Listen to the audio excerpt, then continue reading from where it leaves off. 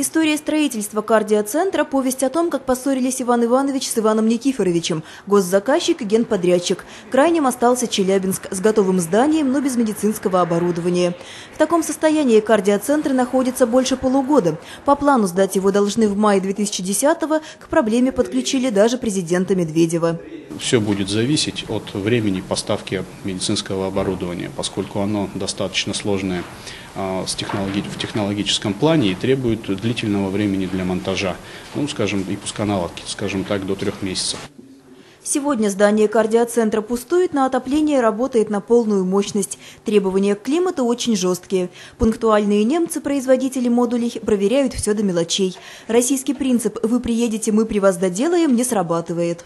У них есть определенный перечень э, требований, которые мы должны подготовить. И рассматривается только двусторонне, да, нет. 25 тысяч квадратных метров и тысячи помещений разного назначения, от аптеки до операционной. Находиться в кардиоцентре одновременно смогут больше 100 пациентов, и взрослые, и дети. Областной Минздрав обещает, лечение для них будет бесплатным. Понятно, что это не учреждение первого контакта с пациентом. Для этого есть муниципальное учреждение здравоохранения, Э, врачи общей практики, участковые терапевты и так далее. И э, ввод в строй вот этого центра в городе Челябинске позволит нам разгрузить областную клиническую больницу, создать там центр острого коронарного синдрома.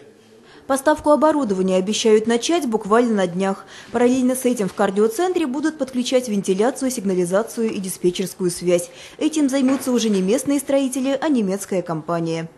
Александра Мыльникова, Георгий Крысанков, СТС Челябинск.